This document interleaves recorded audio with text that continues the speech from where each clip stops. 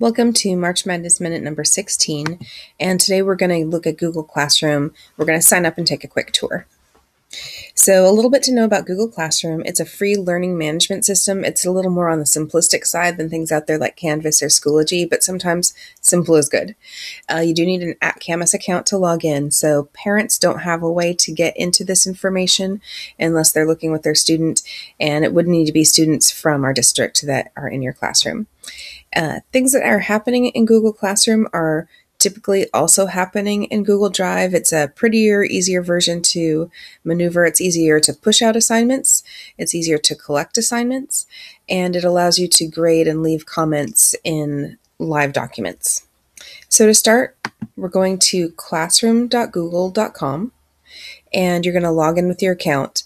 Once you do that, it's a good time to bookmark your page so it's going to show up in your bookmark bar. And when you log in, you're going to see these tiles. And these tiles represent classes that you are a teacher of, as well if, as uh, classes you're a student of.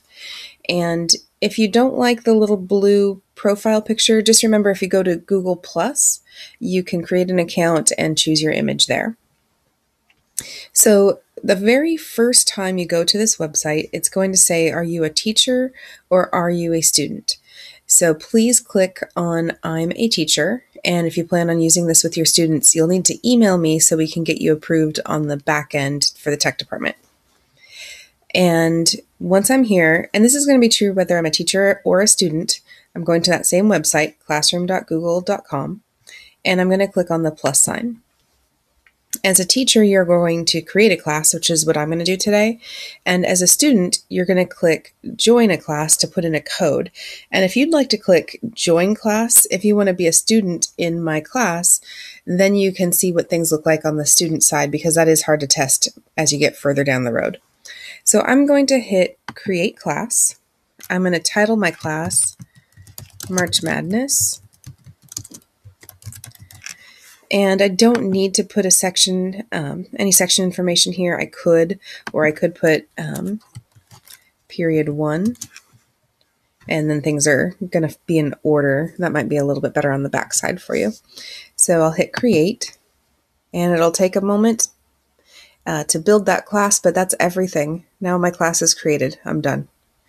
Um, we'll take a little tour here. So this is um, the title information of my class.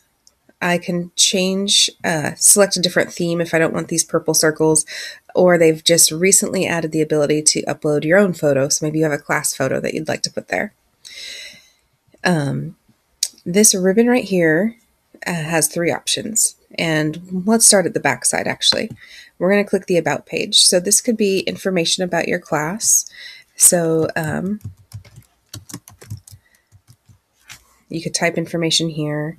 You could put your room number. Here's a link where students can email you, as well as a link to the Google Drive folder for your class. Um, because, like I said, everything's also happening in Google Drive, and we'll look at that in a moment. Um, you can also upload materials. So, if I want to upload materials, I can upload things from my hard drive on whatever computer I'm logged into. I can upload from Google Drive add a YouTube video, or a link to a website. So, this About page would be good to upload things such as a syllabus or a rubric that I want to use year round, or um, anything that I want students to have access to throughout the year. These are kind of the big picture ideas. And that's the About page. The student side, um, you cannot invite students because students don't have email turned on right now. Um, so, how students have to attach to your class is going to that classroom.google, they'd hit that same plus sign to join a class, and then this is the code you would give them. And so that code's automatically created. It's going to uh, always be on your student page. So, even if you have a student come in, three months later, you could go to your student page and give them that code. Once students atta- uh, join your class with the code, you're going to see a list of those names here. The other thing that's important about the student page is the option to allow students to post or comment. So I can have students post, which means creating a new topic to talk talk about, or I can have them comment, which is replying to a comment, or I can turn off the ability to do either one. So I might turn this off until I've talked to my students a little more about digital citizenship. Um, maybe we're watching a movie and I want them to talk about the movie as we're watching it and look for something specific. And maybe I post that as a as a post and then I allow them to comment on my post. So this changes on the fly. The other um, yeah, so we can't invite. Um, the actions does have another option. So if you have a student that's posting things um, that maybe aren't appropriate, you can mute them on this page as well. I just don't have that ability since I don't have any students right now. The other part is stream. So let's go back to this ribbon and stream is where most of the action is happening. So on the stream side, you have two options. You can create an announcement and just like before, we can upload from our hard drive, Google Drive, YouTube, or add a link. And if I have multiple classes, here's where I could have that one announcement go to several classes all at once. So here's where I could um, maybe give information about there's a field trip coming up, and I could upload my field trip slip. Um, here's where I could remind people about homework that's due, but these are just announcements to your class. And I'm going to check my settings. I said only teacher can post. I'm going to say students can comment. And what is your favorite tech tool? And that way people can comment on that. And I'm going to say post. And now you should uh, also see a place where you can make a comment. So that's an announcement. If I click on assignment, there's it's going to have me give me the same uploading options, except for an announcement. I'm not there's no place to grade it. An assignment does have a place to grade.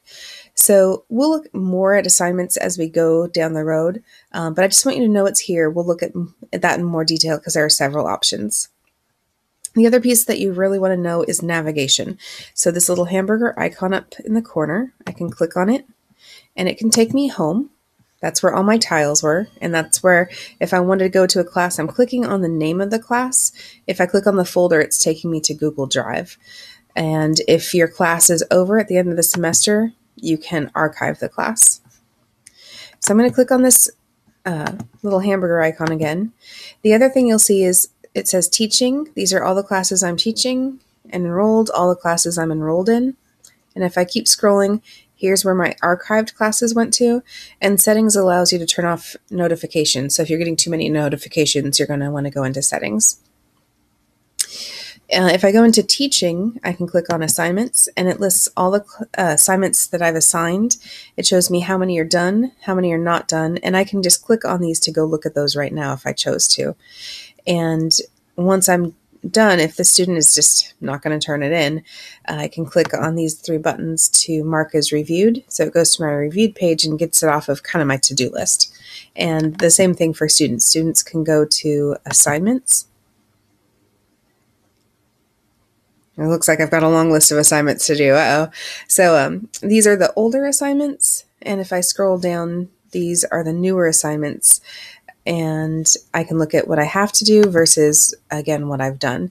So the student and teacher side are are pretty similar, and this is where they could also see comments and where they could see the grades that you assign them.